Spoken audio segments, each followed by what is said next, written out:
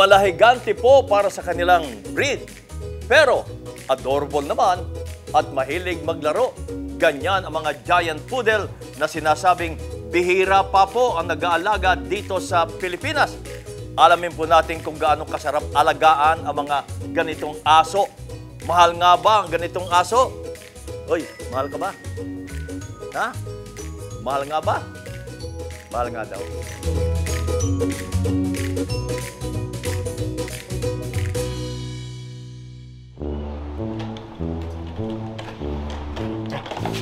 Malahigante. Pero saksakan ng lambing. Mukhang mabigat, pero masarap at kayang kargahin. Dahil sa kanilang laki at lago ng balahibo, mukha sila mga buhay na stuffed toys. Sinong pogi sa ating dalawa? Taray ko. Kaya walang hindi matutuwa Sit, sit, sit. at mahumaling sa mga giant poodle na ito. Gaya na lamang ng celebrity dermatologist na sina Doc Ivy Aguilar, Teo at asawa niyang si Dr. Z, Teo, na isa sa mga unang nagkaroon dito sa Pilipinas. Anong reaction mo nung makita mo? Wow, ang cute-cute talaga. Cute na cute na cute po, kabayan. Um, nagulat kami kasi nung ginala namin sila dito sa BGC, Oh. pinagkakaguluhan sila para silang artista. Parang first time na lang nakita. Opo, pinagkakaguluhan talaga, pinipicturan, um, nagpapa, talagang pinag, pinagkakaguluhan, pinupuntahan. oo, oo. So nagulat kami kasi sabi namin, naku, superstar pala tong aso natin. Inregalo ni Dr. Z ang isang pares ng giant poodles sa asawang si Dr. Ivy noong 2019 bilang Christmas gift. Abay, hindi po biro ang ibinyahe ng mga asong ito para lang makarating dito sa Pilipinas. But why that giant poodle na naging regalo mo? Why? Because um, I told my brother, Oh. um, was in Singapore, Oh, a veterinarian. veterinarian, Okay. I said I want to have a very unique Unique uh, breed of dog, dog. Okay. and I want to give her for Christmas as a gift. Oh. So he went to search around the world, Ah, looking for different types of breeds. not in Singapore only? No, no, not in Singapore, all over the world. And then Okay. he finally found this one. Uh, Where, said, where? This one is uh, near, is in Russia. Russia? Yeah, Russia and yeah, Northern China, Northern China, Russia. that, that border. Oo. And he said this is a very special breed. It's a giant poodle. So when he showed me the, the photo, I I got shocked in my life because Oh. it looks like a bear. Oh, yeah, yeah. it yes, looks yes, like a yes. teddy bear. Mukha siyang stuffed toy na malaking stuffed Yeah, toy na oo. buhay. Oo, tama, Kaya napaka-cute talaga. Yeah, so I said, okay, I want this. So he bring fly from there, fly to Singapore, Singapore fly to Philippines. So from Russia to Singapore, Yeah, Singapore to the Philippines. Yes. Ang mga giant poodles o kilala rin sa tawag na royal poodles ay mas malaki kumpara sa average standard na poodle na may taas na 20 hanggang 28 inches habang ang average poodle naman ay nasa 15 hanggang 21 inches lamang at ang mga giant poodle naman ay may bigat na 80 hanggang 90 pounds.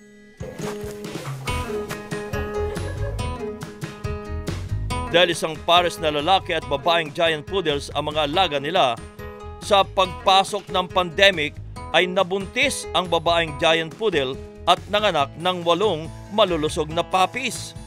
Pandemic baby, we had Berlin and Paris, pinangalan po namin Ah, yun si sila. Berlin, Opo, saka at saka si Paris. Paris. Yun At ang that una. time, nung pandemic, nanonood po kami ng Money Heist. Oo. Diba? Oo, yun so ang- sabi namin, ipangalan natin sa mga uh, Character. famous cities Okay. Ah, in the okay. world. Okay. Yan, so characters ng Money Heist. So there was Berlin, there was Paris. So nagkasupling po sila, pinangalan din namin yung mga cities.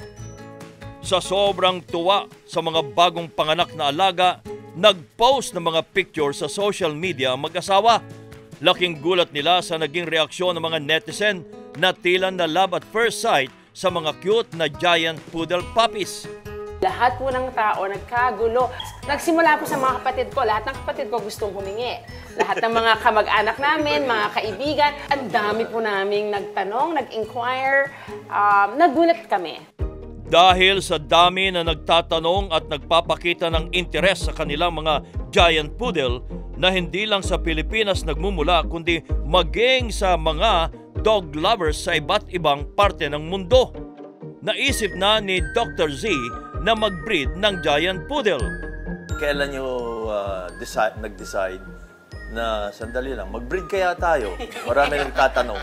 Ay nako, kabayan. Yung asawa ko po, araw-araw, walang ginawa, kundi puro aso lang iniisip. At minsan nagsiselos na nga ako eh. Kasi puro aso na lang. Palagi siyang, puro, at sa dami siguro po ng inquiries, na overwhelmed po siya, natuwa siya. Parang naging national interest ng maraming tao. Kasi talaga pong overwhelming from um, our friends, pati po international. Now we have uh, eight puppies um, going to uh, Moscow, New York. Going to Moscow. Opo! Moscow, New York, um, Italy, Ha? Japan, Singapore. Ganon? Yes. Ang sinasabing isa sa mga matatalino at most trainable breed na aso sa buong mundo ay itinuturing din na luxury pet. Katunayan, meron silang giant poodle na mapupunta sa isang sikat na football player sa Italy. Meron po kaming um, aso na pupunta sa isang uh, famous uh, footballer sa Italy. Wow. Yes. Italian national team. Yes. the Philippines yung aso Yes, oh, they were bringing also, we're exporting. First export. Yes, oh. They always ask where is it from. I said Philippines. They huh?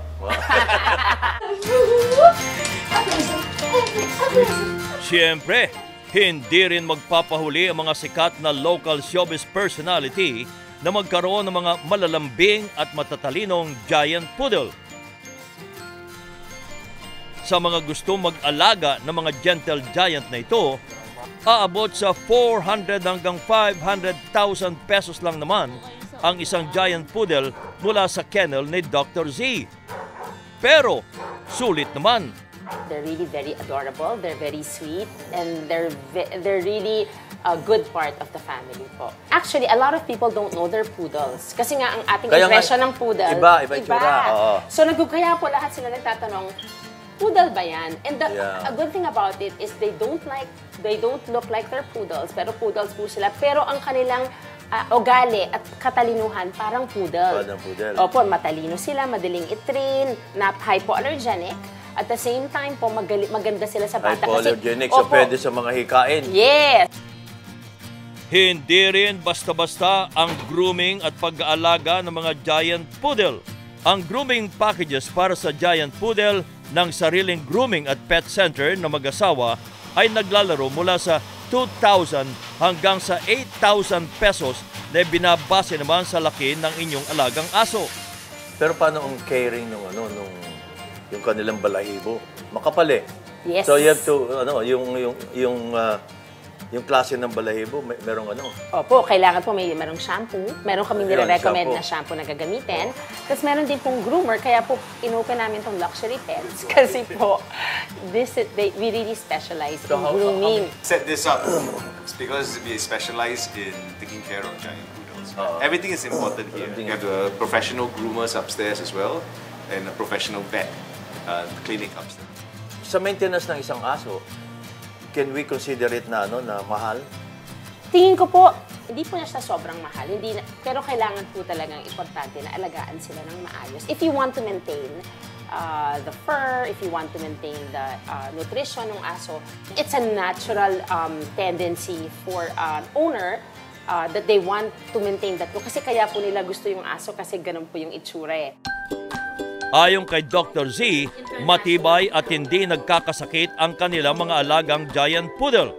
Paano natin maiwasan ngayon na magkasakit? Anong karaniwang sakit niya? Most common sakit.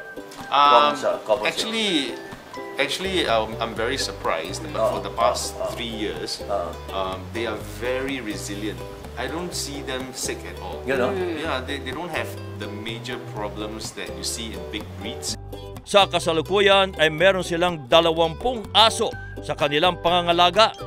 Inumpisahan man ng mag-asawa ang pagbibreed ng mga giant poodle, lilimitahan pa rin nila ang dami nito para masiguro ang magandang kalusugan at kalidad ng bloodline ng kanilang mga alaga.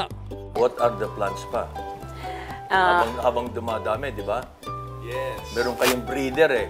Yes. Those breeder, manganganak pa ng manganganak. Uh, yes. Oh. Well, kabayan, hindi po kami talaga nagbe-breed ng marami. Okay. Um, very, siguro pa once or twice a year lang po kami nagbe-breed. Oo, kasi- Kasi ayaw din po naman naming marami ring aso. Oo. The only reason is because po, sometimes marami kami talagang um, gusto po talagang um, magkaroon and we want to share the happiness and the joy that it brings to our family. They really bring a special sense of um, family, Hindi lamang simbolo ng luho, gilas o pagka-high maintenance ang mga giant poodle. Higit pa riyan ang kaya nilang ibigay sa nagmamay-ari nito dahil nga sa angking talino, pagmamahal at loyalty. Sila ay maituturing na isa sa mga best companion dogs sa buong mundo.